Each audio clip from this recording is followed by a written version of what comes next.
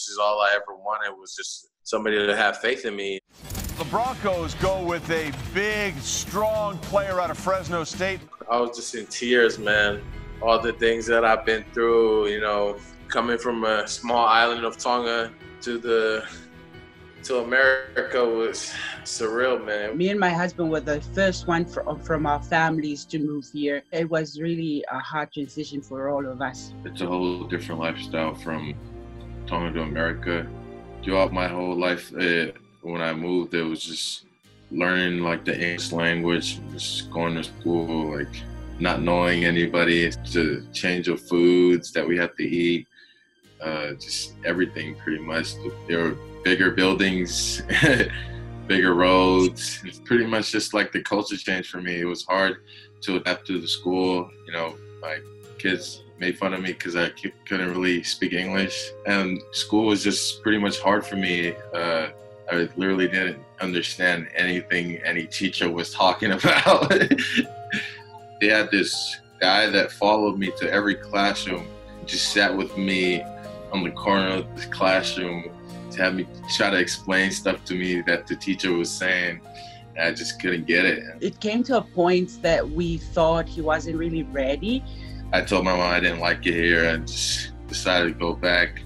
I feel like that was the most difficult time of my life. Uh, just being able to go through that, you know, being able to push myself to, you know, be better pretty much. And I mean, it was a, uh, it made me it made me shy. It made me like not want to talk to anybody. You know, I was just kind of by myself.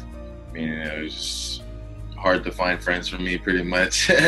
we taught him, and we told him, you know, you you just give it some time, go back and uh, learn a little bit more, try and appreciate a little bit whatever, and so you can so you can come here and see the difference between Tonga and and you know the the better opportunity here. Ended up missing my family again and came back, knew what I was expecting pretty much, and you know just adapted from there.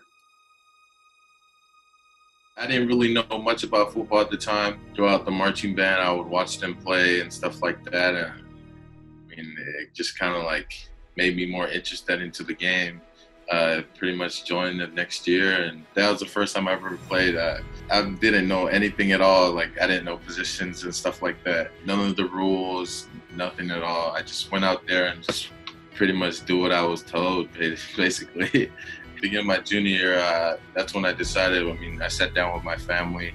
I mean, uh, I wrote that letter that uh, kind of blew up uh, that I wanted to play in the NFL.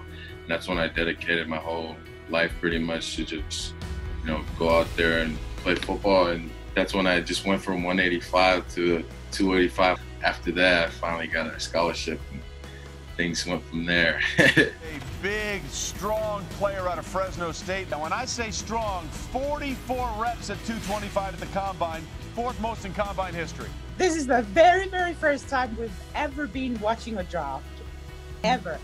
I wasn't really paying attention at all to everything. All I needed was to see Netane's name. Anywhere, everywhere, any team, it doesn't matter. it didn't matter to me. But uh, but then I saw the Broncos. I saw the Broncos on the on the sixth round. Man, I felt electricity going through my body at the time. I felt so, you know, something bubbling up in my in my stomach, and I said, and I I got up and ran to my husband. I said, "That's it, my husband. What is it?" I said, "Remember, I told you there's a team in my heart. There's a team in my heart. Remember, I told you, and I never told you what it was. But this time, you know, they haven't got Netane's name up yet." And and I said, and then he's he stood there, and you know, I was like. I was everywhere. I was running here, running there. And I said, That's it, that's it. And then his name came. I jumped out so high. I jumped out so high. Oh my goodness. I was so happy. I fell down and I cried and cried and cried. We were hugging one another.